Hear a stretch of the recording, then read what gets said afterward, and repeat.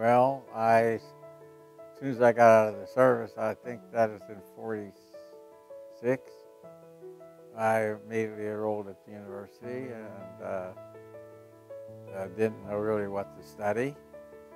Uh, I was the first one in my family to graduate from the university, just about from the high school, really. But uh, so I, I, I just sort of picked courses that I was of interest in.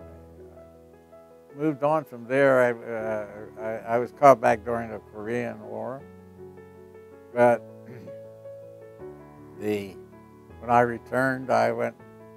I took full-time job, really, basically in the glass business and Houze Glass in Point Marion, Pennsylvania. And I became director of the research there, and I fell in love with it, really there. And I, I knew that was my that was my calling. I just I just loved it, and still do. I think I don't want to alienate myself from the world.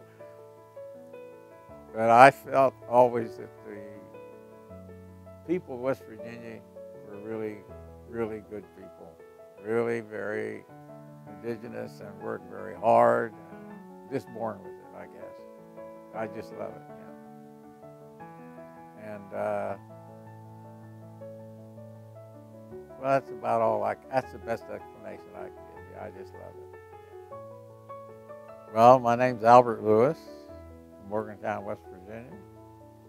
I graduated from the university in 1951.